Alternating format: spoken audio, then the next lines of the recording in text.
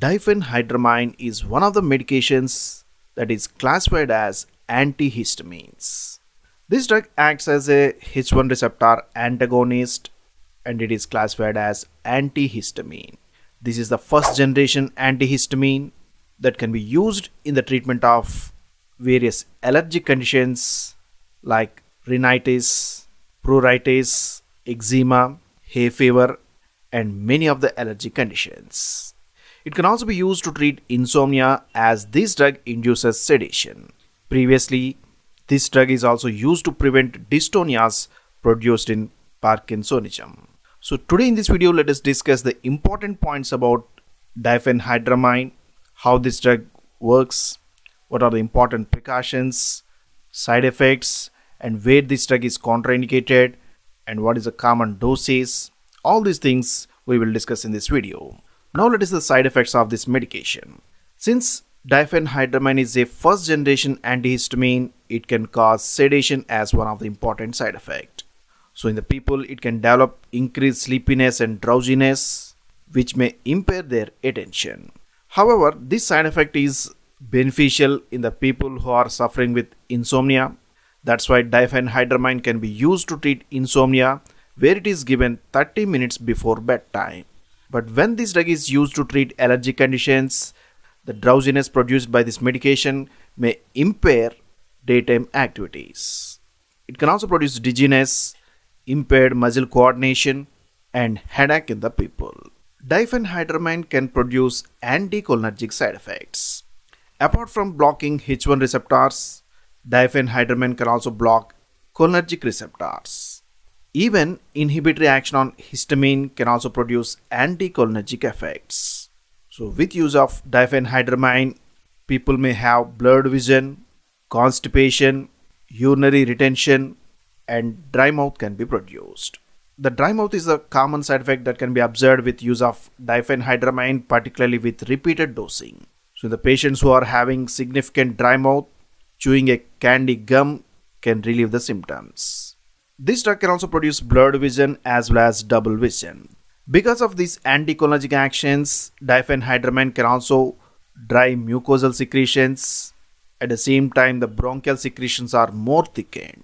It can also produce some nasal dryness as well as pharyngeal dryness. Another important action of diphenhydramine is on the heart. By blocking H1 receptors, diphenhydramine can increase the cardiac contraction leading to development of tachycardia, increase in the heart rate. It can also produce palpitations, a rapid heartbeats can be observed. At very toxic doses, diphenhydramine can increase the prolongation of QT interval in the ECG.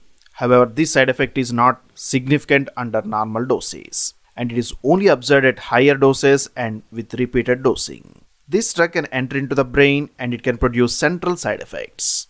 One of the central side effects is the sedation that produced by this medication. Other side effects like euphoria can also be observed. Paradoxically, diphenhydramine can produce CNS stimulation that may lead to induction of seizures in susceptible people. This may result in the nervousness and restlessness in the people. It can also produce confusion and headache. The central side effects of diphenhydramine are more pronounced in the elders. Particularly in the elders, a decrease in the cognitive function can be observed with repeated use of diphenhydramine, where this drug is contraindicated. Diphenhydramine can develop the hypersensitivity. In such conditions, this drug is contraindicated. In the premature infants and neonates, again, this drug is not safe. Even in the nursing mothers, this drug is not recommended. For treating insomnia, diphenhydramine is not suitable in the children aged under 6 years. What are the important precautions? Diphenhydramine can induce the CNS depression. This may impair the daytime activity and it can induce sedation and drowsiness in the people. This is very important when this diphenhydramine is taken at repeated doses. So in such people operating heavy machinery or, or driving performance may be impaired with use of diphenhydramine. Particularly these central depressive effects are more pronounced with other medications like sedatives. Similarly, alcohol can also increase the sedative effect produced by this medication. Diphenhydramine can increase the intraocular pressure. In the people with angle closure glaucoma, This may cause further damage by increase the intraocular pressure. So in such people, this drug should be carefully used. Since diphenhydramine can impair the attention as well as it can produce a loss of memory in the elders, use of this medication may increase the risk. So whenever the benefits outweigh the risk, this drug should be used. Now let us see how this diphenhydramine acts. Histamine is one of the important mediator and it acts as a local mediator at many of the organs. Many of the actions of histamine are mediated through H1 receptors which are located at various organs like respiratory smooth muscles, vascular endothelial cells, GI smooth muscle, cardiac cells and widely distributed in the central nervous system.